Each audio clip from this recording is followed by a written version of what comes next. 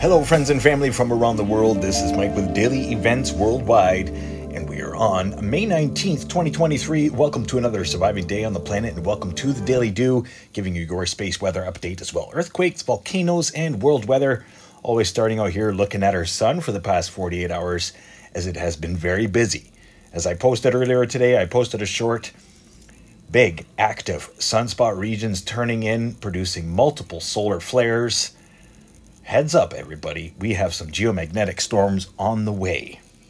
Looking at the last 48 hours incoming, you can see those bright regions popping solar flares and strong M class solar flares as well. Plasma filaments whipping around on the right hand side there in the northern hemisphere.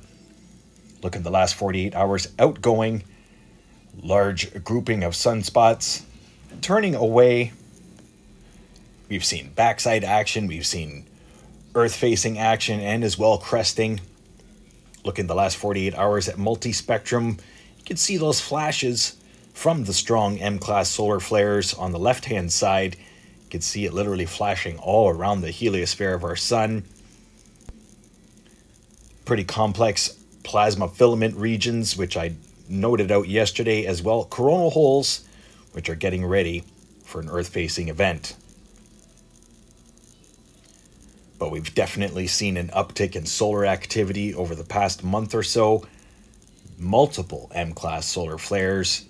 Having a look at 171 angstroms, these are the nine active sunspot regions, five getting ready to turn away, and four cresting in. As well, noting there plasma filament destabilization, last few images in a 48 hour period. Much love, everybody, and thank you for tuning in today. I hope you're enjoying the long weekend. Happy Victoria Day. Having a look at space weather conditions, we are under moderate R2. Radio blackout impacts are expected. Space weather conditions seeing an uptick. Having a look here at the solar X ray flux, you can see strong M class solar flares Solar proton flux starting to come down a little bit. Geomagnetic activity, we're sitting at a KP3 for now. Having a look at the highest frequency absorption map, showing those solar flares, giving us a small zap throughout the day. Long duration flare there in strong M class over the East Pacific.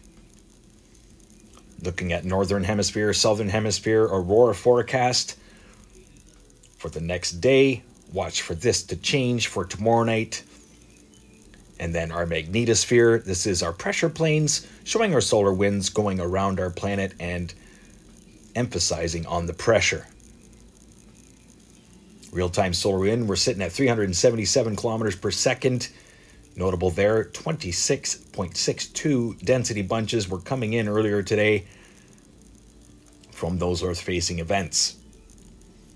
Having a look at the ISWA space prediction spiral, showing a small CME taking off from our sun right at Mercury and giving Earth a glancing blow in the future. 22nd into the 23rd. And then a NOAA space prediction spiral showing all of the geomagnetic activity on its way to our planet. Now let's get to earthquakes last 24 hours as we've had quite an event multiple aftershocks here through Loyalty Islands after that large 7.7 earthquake yesterday, sending tsunami watches across the Pacific, but no tsunami was imminent. But definitely needs to be broadcasted here with daily events worldwide as this was a large event, 7.7 magnitude earthquake, as well as seeing activity through the Philippines today and Indonesia 4.9 there, Ternate, Indonesia. There are currently four buoys across the West Pacific right now that are going into event mode.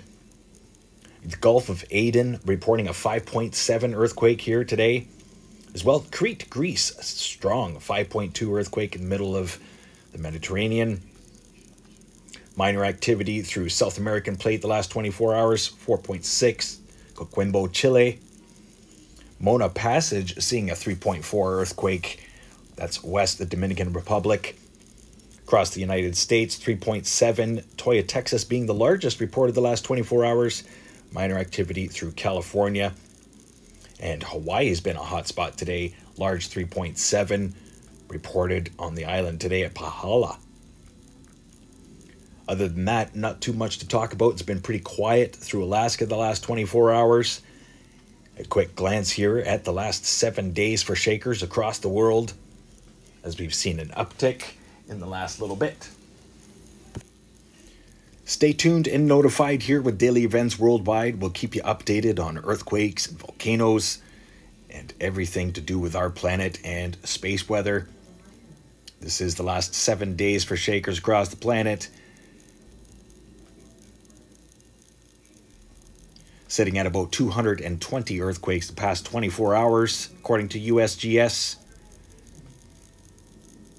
strongest being the 7.7 Loyalty Islands with dozens of aftershocks. Now let's get to the Pacific Disaster Center showing the most recent volcanoes getting updated and as well the most recent satellite Im- imagery around the world. Most recent volcanoes getting updated today. It's been pretty quiet. Looking at Sabancaya in Peru. Multiple floods,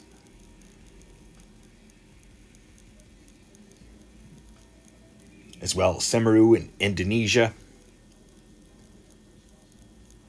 Popocatépetl in Mexico, Reventador in Ecuador. And that's pretty much it that they've been reporting here for the, the past 24 hours for activity at active volcanoes. Sangay in Ecuador being the, mo- the most recent air quality advisories sweeping across the nation, as well cold front coming in from Northwest Territories. Going to cool things down and moisten things for tomorrow. Having a look across the rest of the world, Pacific, we do have a typhoon developing north of Papua New Guinea and as well pretty strong systems there through eastern Russia. Windy conditions, heavy snow overlooking Africa and Europe. We do have one tropical cyclone to talk about. Tropical cyclone Fabian is alive and not expected to affect humanity. Low pressure center there, North Africa heading into the Mediterranean. Going to crash with another low pressure system moving in from the east as trade winds have switched in the northern hemisphere. Speaking of northern hemisphere, look at these fires that are breaking out across Alberta and Saskatchewan. Having a look at satellite imagery and hotspot regions overnight. Massive wildfire smoke plumes across northern BC and as well northern Alberta. Air quality advisories and warnings are sweeping across Alberta and the Canadian prairies as the low pressure center is moving down right now through northern Alberta, going to sweep it all across the nation. Having a look here at satellite imagery brought to you by Zoom Earth, showing all of that wildfire smoke pluming into our atmosphere across the west coast. And this is really early for all of these wildfires, and I've heard a few of them across northern Alberta were accidental. They were planned, controlled burns, but all this wildfire smoke is going to sweep across Canada. Having a look at the air quality advisory here with windy.com, showing a pretty large plume hanging around here for the next three days,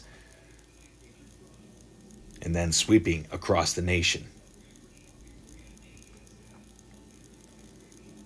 down into the United States, even. Now let's get to weather here, brought to you by windy.com. Low pressure center over Ontario right now, sweeping eastward.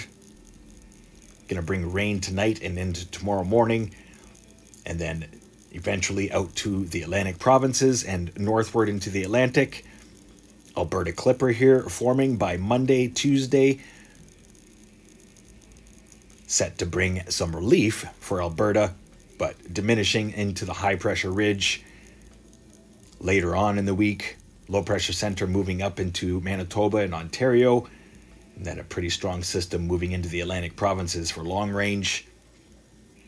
Other than that, it's going to be pretty dry here still across North America.